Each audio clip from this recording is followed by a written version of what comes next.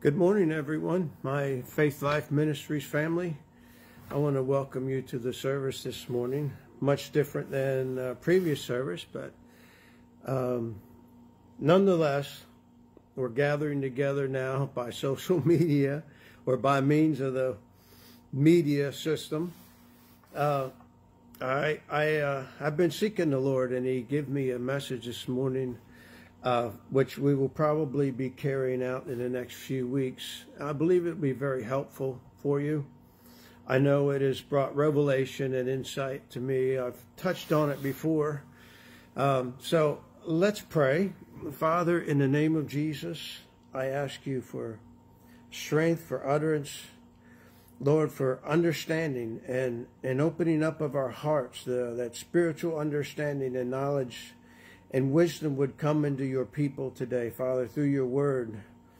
Lord, and I thank you for it, and we believe we receive it in Jesus' name. Amen. I know we've been on the subject of being spirit aware. I'm not departing from that subject, I'm just adding to it.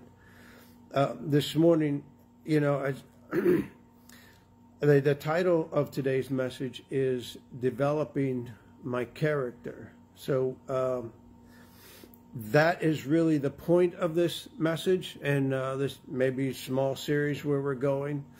So it may seem like I'm going, it's going in other areas, but it's really pointed at developing our character because God is very much interested in developing our character and building relationship more than what we do. And we want to realize that we do need to be aware of the spirit realm.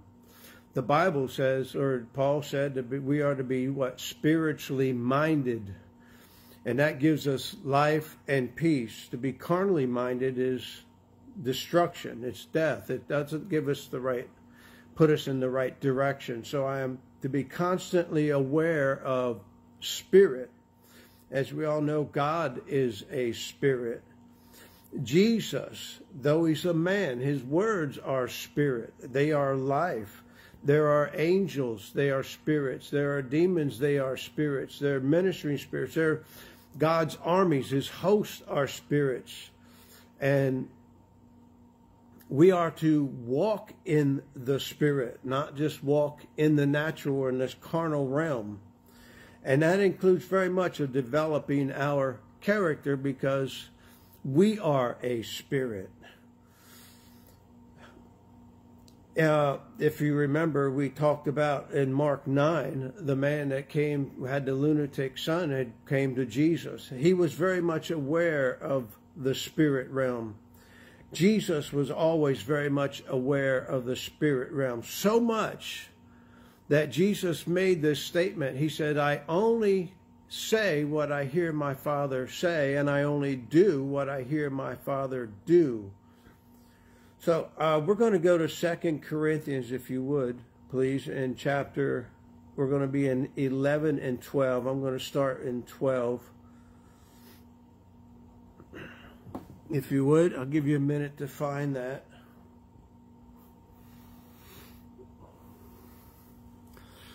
Um, many of us, I'm going to actually be pinpointing and beginning to reveal an area where many of us have suffered defeat, unaware of, of why.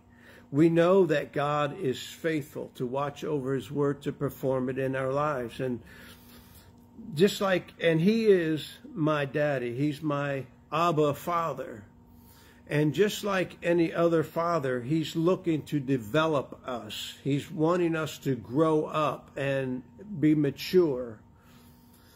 And unlike a natural father, a natural father would tend to, uh, would like to make their children independent of us.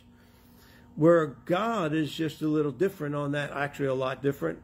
He's wanting us to be more and more dependent on him. Here we have in Second Corinthians, now you know, start in the verse in chapter 11, in um, verse 23, if you remember, uh, in in verse in chapter 12, he's talking about he talks about a thorn in the flesh. And have you had any thorns in the flesh? Well, that's a figure of speech. He's going to identify these thorns, and I think you go, you can begin to relate with Paul and some of these thorns. These are the, he's getting ready to quote some of the manifestations of those thorns. Of course, he identifies that thorn as a messenger of Satan. Was he spiritually aware? Was he aware of things in the spirit? Oh, yes. So these are manifestations in the natural realm of that thorn or that spirit. In chapter 23, they are ministers of are they ministers of Christ? I speak as a fool. I am more in labors and abundant in stripes above measure in prisons, more frequently in deaths often. From the Jews, five times I received 40 stripes. Thank God we're not getting beaten with stripes.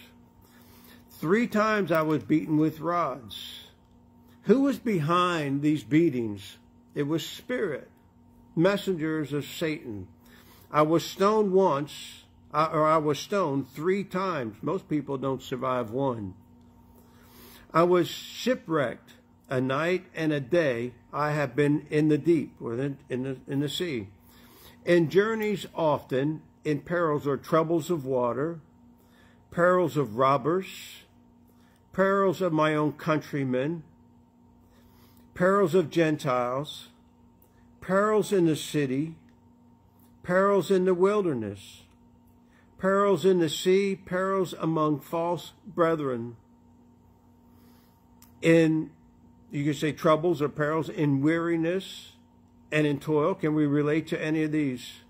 Sleeplessness often, in hunger and in thirst, in fastings often, in cold and in nakedness Besides the other things, King James says other things without,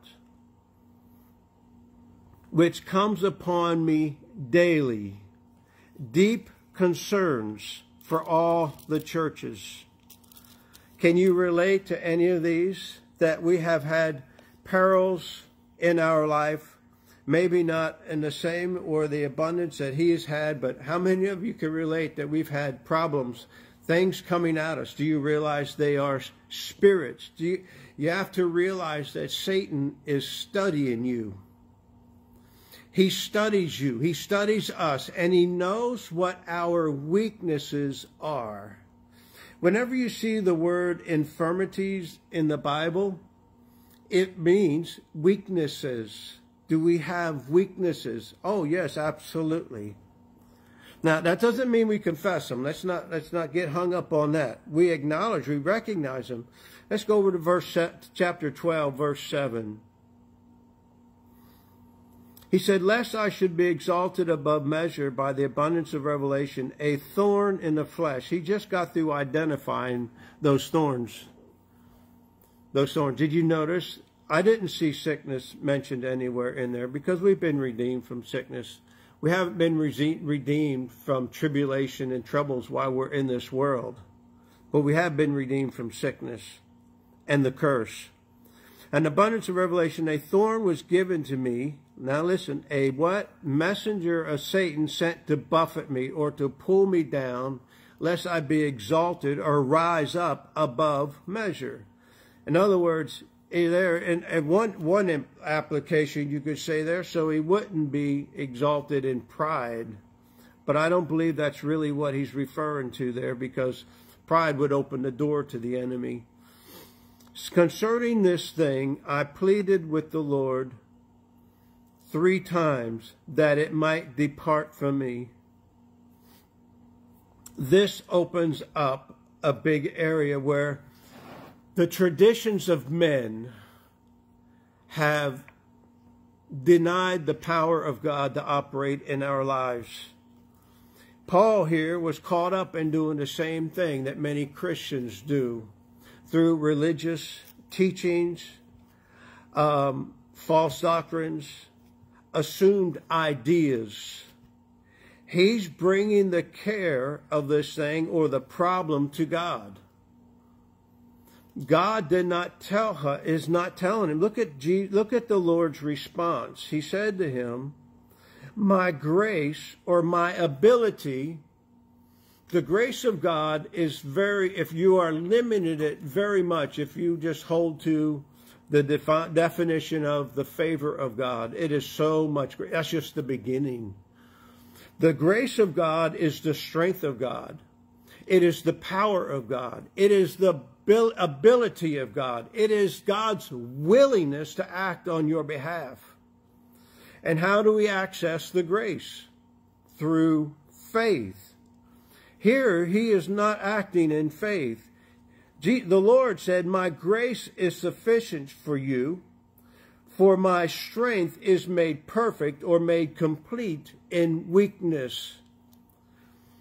Paul was doing like many of us have done and probably still will do until we get a complete revelation and a complete uh, change or renewing of our mind in this issue. Paul was bringing his problem to God and petitioning God to do something about the problem. God responded and he said, My grace is enough to take care of that problem. In other words, you're going to have to go to my grace. Many people are praying to God to eliminate, get rid of, or let me say, praying against the problems. We are not told to pray against the problems. He's saying here, pray for the strength to overcome the problem. I come to God based on His Word. He says, I'm more than an overcomer. He said, by His stripes I've been healed. He said, He has already given me the victory. So I pray that God would strengthen me, strengthen my spirit to overcome that problem or that weakness. Did he say, did he say, my grace is sufficient for you? For my strength is made perfect is made perfect in weakness. I acknowledge, I recognize that I have had and do have many weaknesses. One is I don't know a lot of things. Two, I don't know exactly what the root of the problem is. So I go to him and I pray for strength. I go to him boldly and obtain the grace and the mercy in the time of need. I'm asking him to equip me, build me up and develop me so that my what he has already given comes alive and gets stronger in me so that I become the overcomer that he's called me to be. It's like a father and a child. He is our Abba Father if the child, when we're little, yes, we'll go to him and daddy will probably pull up our pants.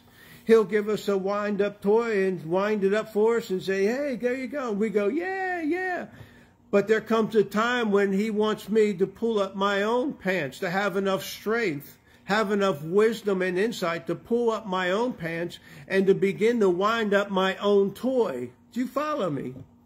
This is God. He is the developer. I'm giving you principles here. It may look like it's like the teaching here just on a principle. It is not. It is on because God is more more interested in developing a relationship with you. He wants you to include him in everything. But he's also looking to develop you and to strengthen you. The char- your character.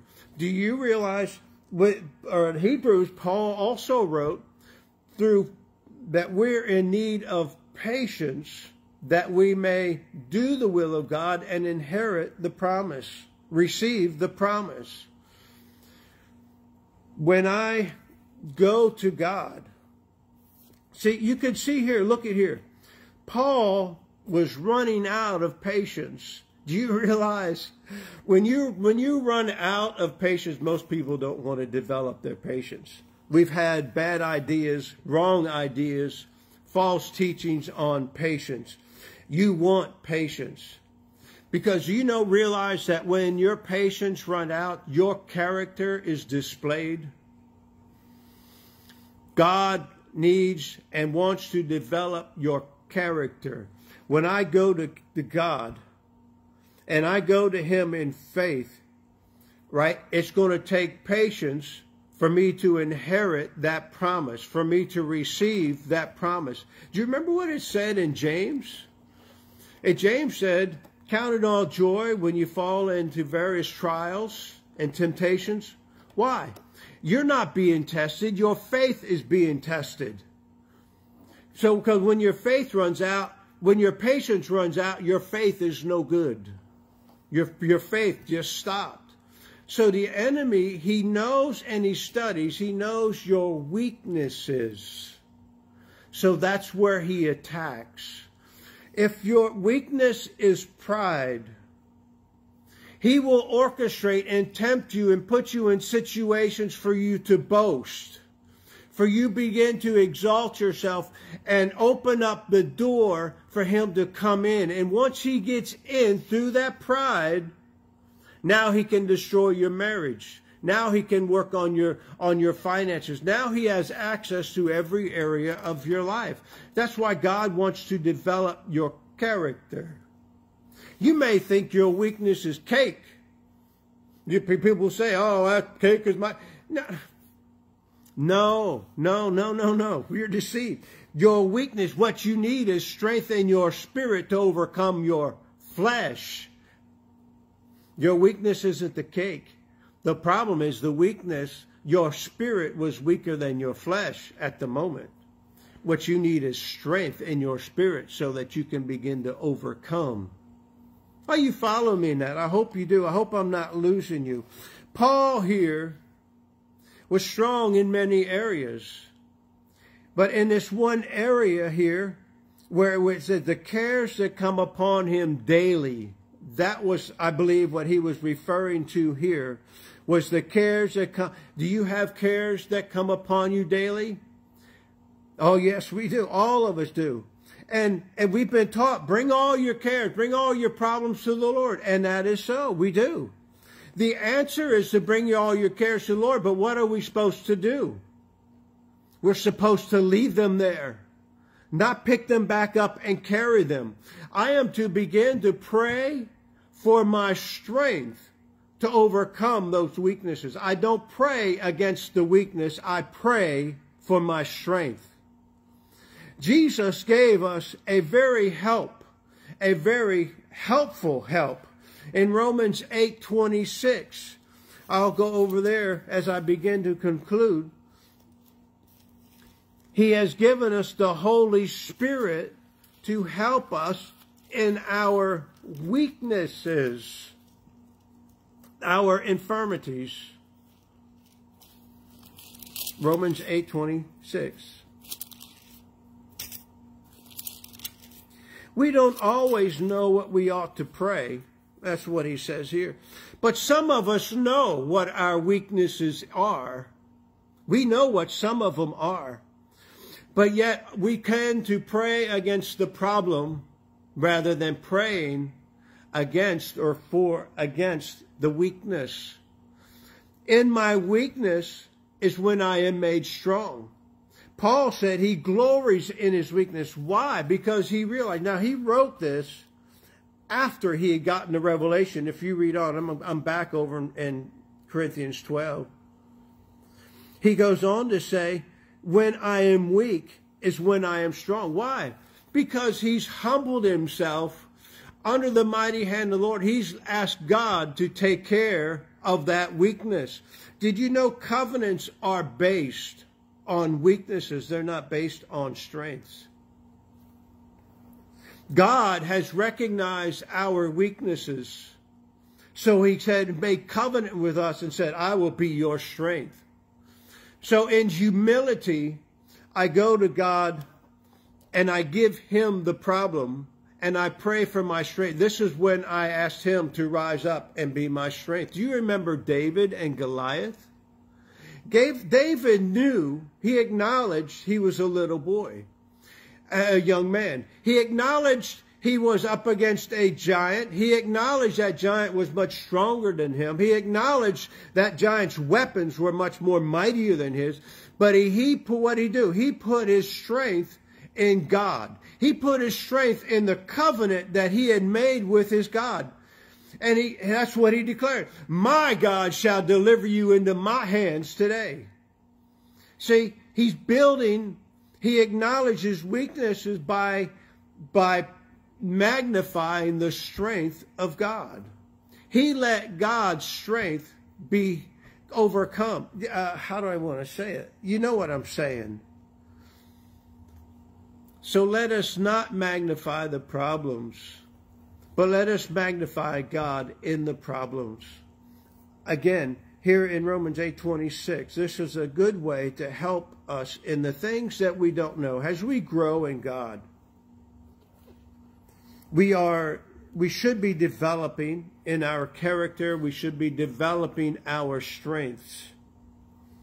Some of the strengths like when i first came to god there were weaknesses in my life that i went to god to help me through now they have become strengths they're not weaknesses anymore there was a day you could have tempted me with certain sins when I first came to God. Today you cannot tempt me in it because God has become my strength. That's part of my life. I am girded up with strength in his ability. That was, see what that is? That's development. That's character. If you're short fused, that means you are lacking patience and it reveals character. And God is more interested in your relationship with Him than He is the things you do. So He wants you to go to Him continually. Here in Romans 8 26, we'll finally get there. Likewise, the Spirit, talking about the Holy Spirit, He helps us in our weaknesses. Now, I don't, let me say this I don't confess my weaknesses. I acknowledge I know they're there. Because why, when I confess my weaknesses, when I confess my weakness, when I declare it or say it, I am giving the enemy light or an open door into my life. When things are revealed in the spirit, it's called light if there was an area the enemy did not know or wasn't aware of, and I confess it, now I have given him light. That's why the Bible says, let the weak say what? I am strong. We are to give the enemy no place. I don't want to shine the light in any area for him to open up, for me to open up and him to come in. Here he says the Holy Spirit helps us in our weaknesses. Why? because I don't know what to pray for as I ought. Like I said, you may think the weakness is cake or pie. That's not the weakness. The Holy Spirit knows what the real weakness is. So he does what? He, the Spirit himself, makes intercession for us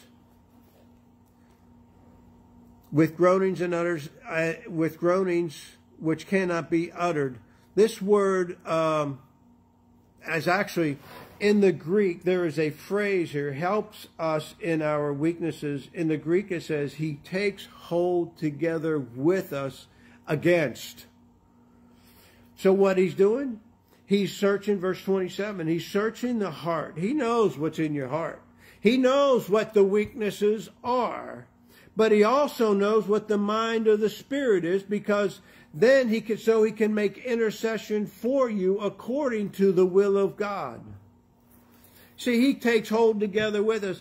This is how I can become, be, begin to overcome areas that I have suffered defeat over and over and over again. Maybe there's an addiction in your life. Maybe there's a, a sin. Maybe there's a problem that you keep continually facing and you keep bringing that problem before the Lord and the Lord saying, no, my grace is sufficient. I've already given you the ability and the grace to, to overcome it. Access it now by faith. Give it to me. Cast that care of it. And as long as I am praying, now here's the, here's, here's a big key. As long as I am praying for my strengths, He's got me covered. Did you hear me? As long as I am praying for my strength, He's got me covered, even though I've still been weak in that area. It's when I stop praying for the strength that the enemy gets access because now I'm stepping out in pride. I don't need him anymore. I don't need to be strengthened. I don't need him to help me. Do you see what I'm saying? So he's given us the Holy Spirit and he's given us a prayer language. This is only one way to help us to overcome. If I, you got a problem or an addiction, I want to encourage you to pray with me right now. We bring it. Here is the key. Here's the answer to the thorns, to the manifestation. Here's the answer. It's over in 1 Peter 5, casting all of the cares over on him. But I don't pick them up. I don't I don't take them back. I leave them with him. No matter what the problem is in your character or your development or the issues that we face daily. I don't know if you face all the things that Paul was facing. I know he talked about perils with his countrymen, perils with his brother. How many of you had family against you? How many of you had friends against you? How many felt like you've had the world against you? That's what Paul's describing there. But they were really spirits so our battle is spiritual. It is not carnal. You know, to be spiritually minded. I've got to be constantly aware that I'm not battling people. I'm not battling these issues. I'm battling, my battle is to lay hold of the victory through God. You, you, you follow me? That He is my strength. He's my shield. He's my rock. He's my God. He's my fortress. He's my healer. He's my deliverer. See, that's what David was saying. My God shall deliver you into my hands. He's taken the victory over in the spirit because he's girding himself up with strength, with God.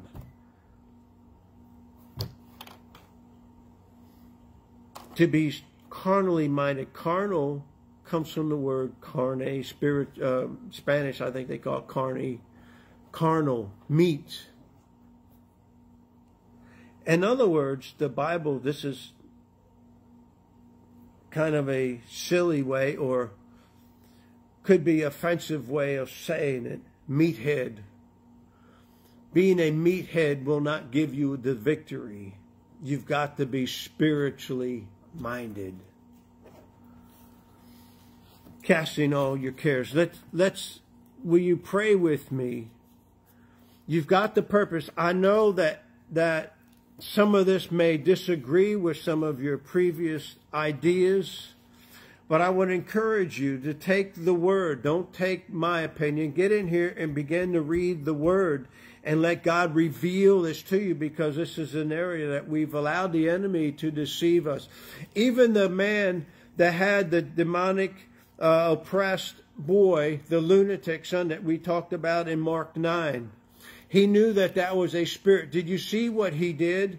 He brought the problem to Jesus, and Jesus did the same thing that he did with Paul. He turned around and put it back on the man and said, If you can believe, all things are possible to you. And then the guy said, Yes, Lord, I believe. And then what?